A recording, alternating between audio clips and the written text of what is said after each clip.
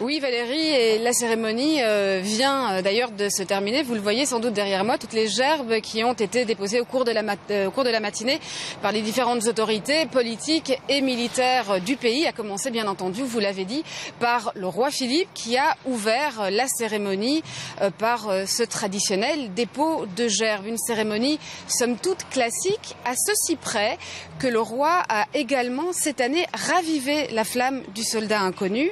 Et euh, pour un 11 novembre, ce geste-là, eh bien, c'est une première. Alors on l'a vu ensuite euh, serrer la main des différentes associations d'anciens combattants, de vétérans, vétérans évidemment euh, de la guerre 40-45 hein, et plus de la guerre 14-18, puisque vous le savez, il n'y a plus de vétérans chez nous de la guerre 14-18.